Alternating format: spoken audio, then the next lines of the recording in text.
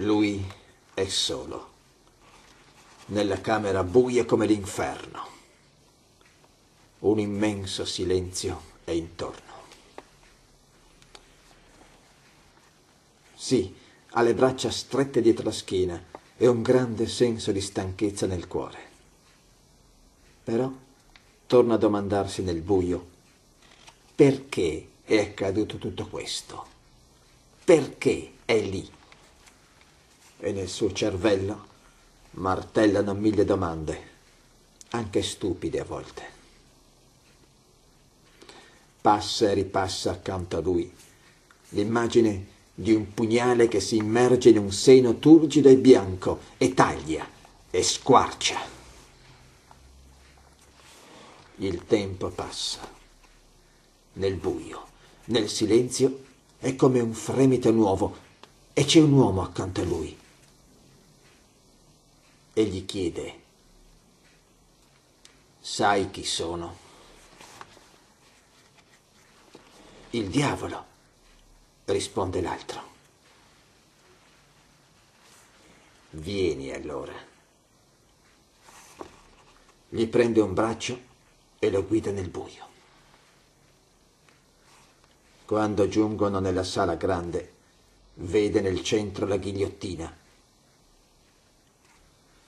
e si ricorda del nodo sulla schiena. Mi fa male, dice hai le braccia libere. Lo conduce fin sotto la ghigliottina, dove, abbassando la voce, comanda in un sussurro. Stenditi.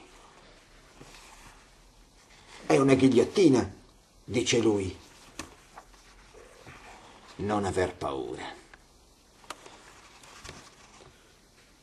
L'uomo si corica, a faccia di sotto. No, non così. Devi avere la faccia rivolta verso l'alto, ripete l'altro abbassando ancora di più la voce. Paziente si gira, ma sente che deve fare ancora un'obiezione. Nella rivoluzione francese mettevano con la faccia in basso.